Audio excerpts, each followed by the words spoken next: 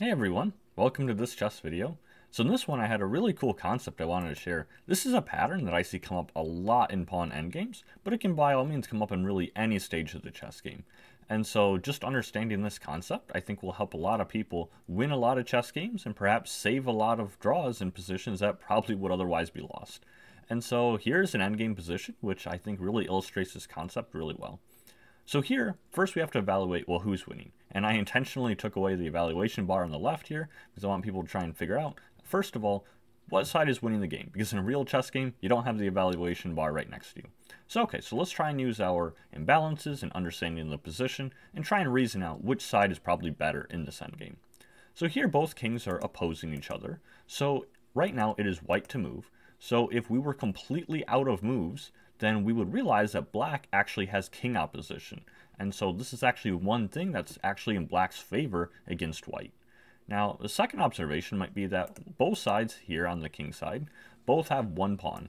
Um, so our kings cannot go too far. Like if white's king were to go to e3 at any point, then the black king would infiltrate with king to g4, and unfortunately they'll be picking up this pawn and winning the game. You know, so that's no good for white. And very similarly, if white's king were to ever step further, like say g3, at some point the black king might come to e4, possibly infiltrate either d3 or e3, and then they're just going to get behind all of the queenside pawns, and that's also going to be better for black. Okay, so so far it looks like, at least on this flank, black is probably better. Now if we look over here, we have a 3 pawns for black and a 3 pawns for white. And so what that means is there's no pawn majority, and so in theory, because of the structure looks okay, there shouldn't be a way to force any pawns, usually speaking, to become pass pawns. So this is more or less blockaded to kind of a draw here in that sense. Now, if we look at space, that's another really important imbalance. So in this case, black is much better space, because if we look at white's advanced pawns, you know, this pawn is advanced to the third rank, not too far advanced, you know, and so that's one of their farther advanced pawns, at least on this flank. Now here, this is even more advanced, but this is blocked by the pawn ram h5. So you can't really do much about that. So really the focus is here. And their furthest advanced pawn is just on their third rank, not too far. Black, on the other hand, they're all the way up to their fifth rank. So this is much more space if we were to kind of look at who has what territory. This is almost like black's territory. And on the queen side, at least, white is only really restricted to these because they don't have a pawn advance further up. So we can see, of course, that from above, you know, black has way more space here. And so because of that, you know, you would often think, well, black must be better. Like they have the better queen side, they have the king opposition, you know, and, you know, white can't go too far because then they'll drop one of these pawns. So with that being said, if you were evaluating this, the logical inference would be that black is actually better.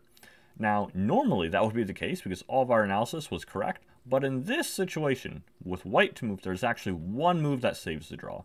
And I'll put the evaluation bar back up just so you can see. This is an equal position if white knows exactly what they're doing and uses this concept I'm about to share with everyone to help draw this game. So what concept am I referring to? So here there's a concept of backwardness, which happens a lot with pawns, and especially pawn endgames, because of course they're connected to pawns. And so you have to kind of understand what we're going for with this for this whole position to make sense. So here the key move that you really have to play, must play it in this position, anything else black is better. So the key move you must play is pawn to a4. And so this is such a strong move, why? And the reason is because remember I said this is a 3 versus 3, you know, pawns here on the queen side. So if both sides play normal, it's going to be either A, it's going to be completely balanced and no one's going to make progress, or B, black is going to be better because they have the queen side space. And so we don't really want that as white. So how do you stop both of those? Well, we have a threat of our own. And so the threat of our own is because we have equal pawns here, we have to have one of our pawns actually hold back multiple pawns of the opponent. So here with a4, it's sort of like we're contesting this a pawn. You know, both sides are fighting here, and these pawns cannot advance. But in this case, the b pawn also cannot advance, because of course we would just capture the pawn, and this would really not help black in the least. So in this case, these two black pawns are actually being held back by this one pawn from white. And so this one pawn is actually kind of like playing this double coverage defense here with, you know, with black. And in theory, if they're using up more of black's resources, then we should eventually end up with extra resources ourselves. Like if these two black pawns are held up, you know, well, if it only cost us one pawn to hold it, then that means that in theory we have one pawn somewhere else in the position that might actually be an asset. Maybe some possibility very long term might be able to become a pass pawn and perhaps win the game for us. Now in this case, that's not the that's not what happens. In this case, we just have to be very precise and hold the draw. So okay, so how do we do that? Well, right now they're of course trying to you know play this move because if we did nothing, like if we didn't play the a4 move, let's just say we play a very passive move like b3, then you'll see the problem in why black is going to win because they'll play pawn to b5, and if we advance c3, try to be very slow about it, they can play c5. And this is the kind of position we wanted to avoid that I said, because of black space advantage, they're going to be better. So if we ever like move our king, this king is going to infiltrate, you know, we just lose all these pawns. And what else is there? Well, if we don't move our king here, you know, after this, like where else do you go? Any pawn you push, they're going to win. If we push the a pawn, well, that's no good because they play c4, and now this is a very common pattern where we can't stop both threats here. So they're just threatening to capture here, and if we push, well, the other threat is they just take here, and now this pawn is a pass pawn. And so we can't stop black from promoting, unfortunately. So there's really no way to make progress because of this type of lever here, where we have this type of formation, and this is going to make a pass pawn by force. So that A pawn is no good. Can we push the B pawn? No, we can't. Um, either A or C captures is winning for black, but A is just simpler because here, if you recapture, then they have c4 and it's king opposition. And now our king has to move. And we saw the problem we mentioned earlier where our king really doesn't want to move. If we go here, they infiltrate, that's no good. If we go here, they're going to infiltrate this way and then eventually win this pawn, and that's also no good. So none of those really work. So unfortunately, that doesn't really go too well for us.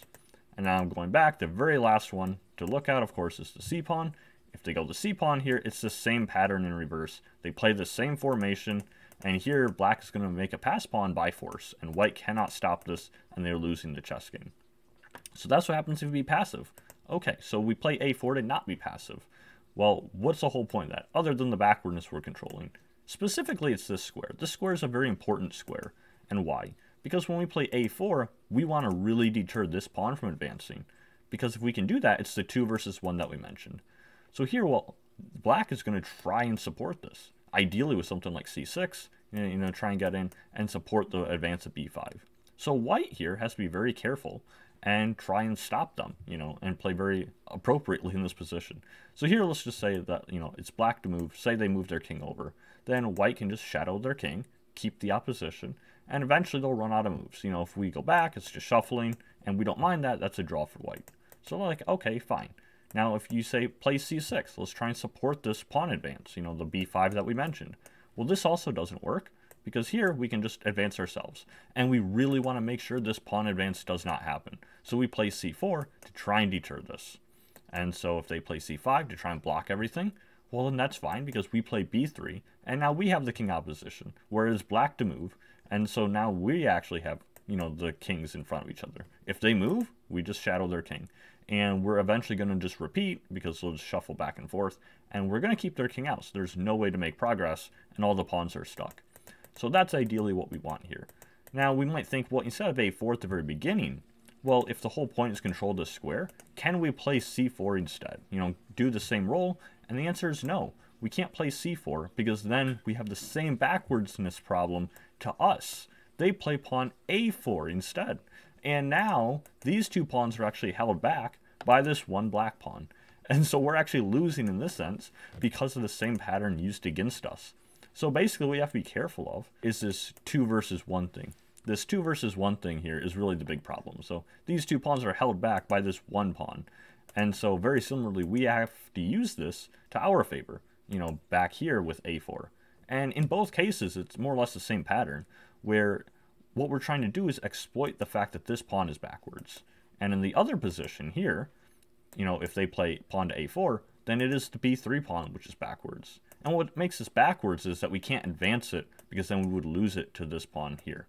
And so those are just some key pawn endgame really as far as structure goes, some key concepts that are really important. And especially in the endgame, they come up a lot. But understanding these ideas is important really throughout the game. It's just that in endgames it's more likely because there's so many pawns on the board, most things are traded off. And in a regular, you know, position, the middle game or the opening, there's so many pieces on the board that could also influence the position, you know, and maybe the pawns aren't as important in that sense. Um, still important, but not the ultimate goal that, you know, really shines through like in this example here. In this example, because we're in the end game, you know, pawn end game, really this is the only concept that is holding the draw for white. Anything else black is winning because the advantages that we mentioned earlier. So in this case, I, you know, hope that everyone found that useful. I'm just kind of reviewing. So we have a4 is the only move that holds the draw, and they really have nothing better. You know, the best they can do is move their king over, and then we'll just follow it, keep the opposition. And if they try and slowly advance their pawns and try and support, you know, this b5 to try and get a pass pawn going, maybe try and further their, you know, advantage on the queen side there because there's space, we'll just stop them because we have to keep this pawn backwards, and that's the only thing that's going to help us draw here. So if they ever advance a pawn, fine, we'll just, you know, block this and it's going to be a draw. If they try forcing this anyway, then we're actually winning ourselves. Then why is that better. You can see the bar shoot up here. And the reason why is now we just take the pawn. And, you know, there's no way they can stop us. We'll just go here. And now their king has to be running back. And if their king runs back, well, then our king can infiltrate on this side. And it's the same problem they had with the king opposition. So that was the idea behind the backwardness and how you can use that to actually save some chess games on your own part. Very common endgame pattern. And so I hope everyone found that useful. So thanks for stopping by, everyone. I'll see you in the next chess video.